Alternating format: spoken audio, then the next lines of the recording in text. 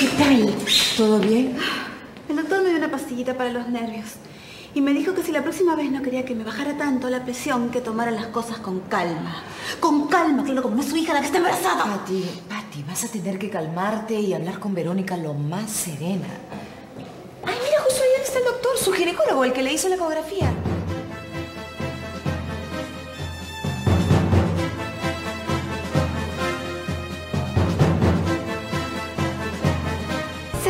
Tía, ¿cómo estás? Permiso, tengo que atender una emergencia. si no vienes en este instante, te juro que yo misma te mando a emergencia. ¿Él es el ginecólogo de Verónica? Bien joven, ¿no? Tía, en serio, no puedo atenderte ahora. Señora Charo, ¿cómo está? ¿Cómo está, doctor? Más bien, si me esperan un par de horas, puedo atenderlas con mucho gusto. Tú no vas a ningún lado. ¿Por qué no me dijiste que Verónica estaba embarazada? Eh, Pati, deja que se vaya. Su emergencia es más importante que esto. No hay ninguna emergencia, Charo. Yo lo conozco a este como si fuera mi hijo. Está mintiendo. ¿Por qué no me dijiste que Verónica estaba encinta? Pero yo pensé que sabías. César, Tía, perdóname. entonces es verdad. Claro que es verdad. No íbamos a mentir con algo tan serio. Grace. ¿Y cómo está mi hija?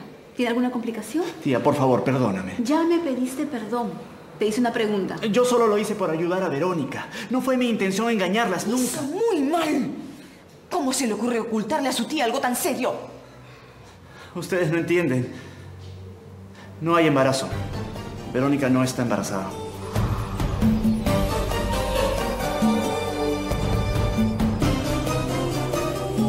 ¿Cómo que no hay hijo? No hay hijo, todo fue un engaño.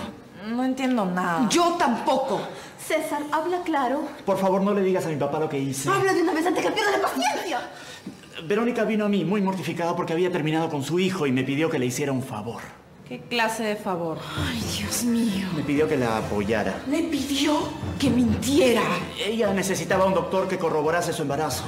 No puedo creer lo que estoy escuchando. Yo traté de convencerla para que no lo hiciera, pero tú sabes cómo es ella cuando se le mete algo en la ¿Y cabeza. usted acaso es un niño para hacerle caso?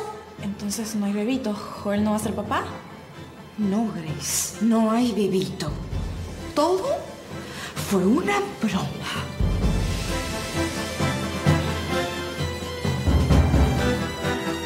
Te juro que te iba a avisar. Me quedé muy preocupado cuando vine con la señora Charo. Ahí me di cuenta que Verónica iba a llevar esto hasta el final. ¿Por qué no me avisaste entonces? ¿Por qué esperaste a que viniera? Es que, por otro lado, Verónica me da pena. Ella está muy enamorada de su hijo. Perdóname, Patty, por lo que te voy a decir, pero tu hija necesita un psiquiatra.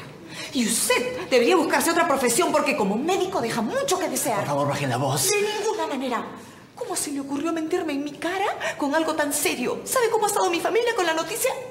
Hasta le di una ecografía, Verónica.